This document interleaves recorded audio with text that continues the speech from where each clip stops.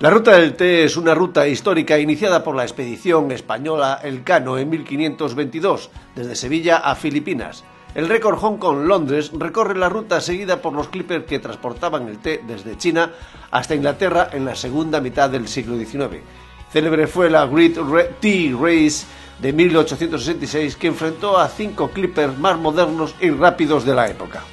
La regata tuvo gran repercusión mediática y concluyó de una manera muy emocionante con los tres primeros competidores remontando el río Támesis con la misma marea y atracando en los muelles de Londres con pocas horas de diferencia, tras 99 días de navegación. A bordo del Maserati se encuentran cinco tripulantes, el patrón italiano Giovanni Soldini, dos españoles, Alex Pella y Oliver Herrera, el italiano Guido Broggi y el francés Sébastien Audignac. Recorrido entre Hong Kong y Londres entre 30 y 35 días. Y ha salido con viento del noroeste, con lo cual es un ángulo rápido para el barco. El récord uh, Hong Kong-Londra es un grande desafío. Eh, tienes uh, seguramente muchos, muchas partes diferentes eh, la primera es la salida, las primeras 2.000 millas son difíciles porque hay una navegación muy muy compleja, muy, muy peligrosa. Está lleno de pequeñas islas, de bajo fondo, está lleno de pesqueros que son muy pequeños y que tienen luz que, que no se sabe qué luz son, que son muy, muy, muy extrañas.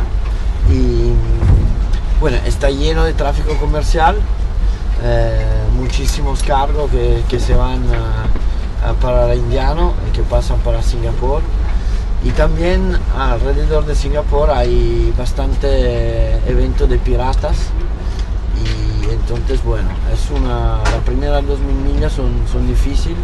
Es también muy importante de hacerla bastante listos porque, claro, sobre todo en la segunda parte eh, no hay mucho viento, pasamos el ecuador, entonces es muy importante de coger una, una finestra que sea buena. Después eh, que hay, bueno, la travesía del Indiano, en este momento no es muy favorable porque hay dos depresiones tropicales que, que nos cruzan nuestra ruta y que pueden quitar el viento, eh, son, son complicadas.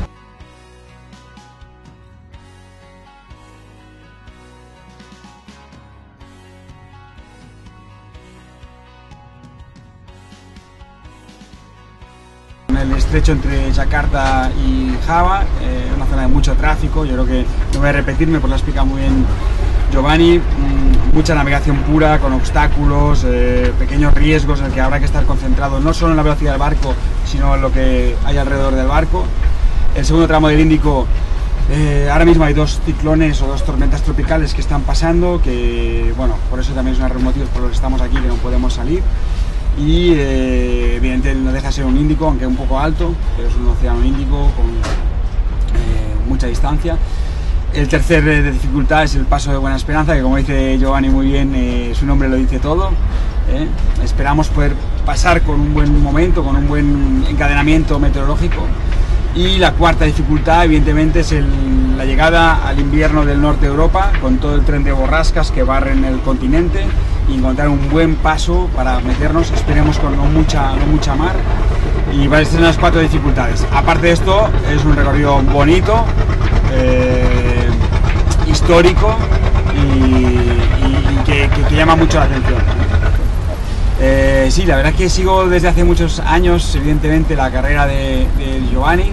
Eh, yo como mediterráneo, Giovanni también es un, un referente porque ha conseguido en su país, en Italia, transmitir eh, su pasión por el mar a millones de italianos, o sea que para mí es un, muchos años eh, haciendo vela oceánica a un nivel muy alto, en barcos diferentes, realmente que hace muchos años que, lo sigo. Em, curiosamente no nos conocemos desde hace tanto, eh, yo cada vez que he venido a Maserati nos hemos cruzado, me ha llamado para llevar su barco cuando él no estaba, pero en cambio tengo una muy buena relación y parece que seamos viejos amigos sin, sin tener muchas relaciones desde muchos años. Así que para mí yo espero, evidentemente cuando navegas con una persona así, es, eh, yo hago un poco de esponja, aprender mucho de él. Eh, yo tengo una experiencia relativa y reciente muy intensa en este tipo de barcos, o sea que espero también aportar mi experiencia al equipo. ¿eh?